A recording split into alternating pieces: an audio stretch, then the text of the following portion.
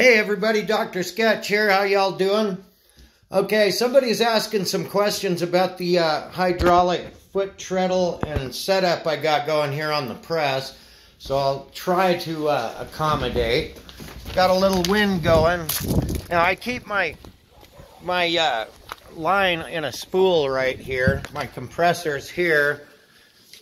There we are and it's just a normal $100 compressor, Brute, with a Braggs, Briggs & Stratton engine in it. And I hook it up when I use it. The line comes in down here in the corner, goes up across the ceiling so it's out of my face.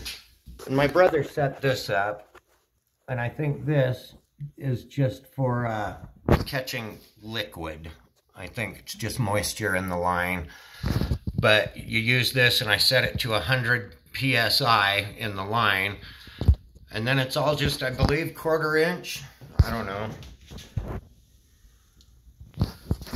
And then it goes out and up into the back of it right here.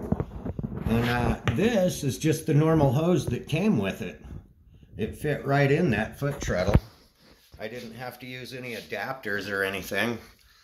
But all the parts came from high, high, uh, Harbor Freight and it works well. It holds pressure. It doesn't screw around. The hand pump I had, I had to send back, and they sent another one because it wouldn't hold pressure. I guess the gaskets were bad or something. But uh, they sent another one, but before they sent it, I went and bought this bad boy, and my brother hooked it all up. And man, it works well. I won't go back to that hand pump. It's sitting in the garage, still in the box somewhere.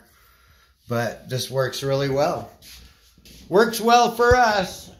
And uh, I tried pressing up this stuff, some shake the other day.